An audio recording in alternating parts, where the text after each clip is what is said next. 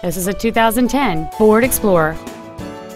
It has a 4.0-liter six-cylinder engine and an automatic transmission. Its top features include a double wishbone independent front suspension, a low tire pressure indicator, traction control and stability control systems, aluminum wheels, and much more.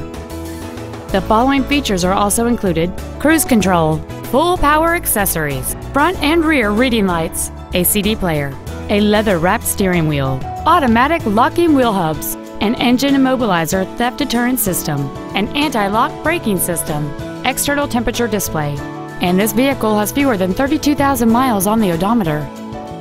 Contact us today to schedule your opportunity to see this automobile in person. Koons Ford is dedicated to doing everything possible to ensure that the experience you have selecting your next vehicle is as pleasant as possible. We're located at 1051 East Broad Street in Falls Church.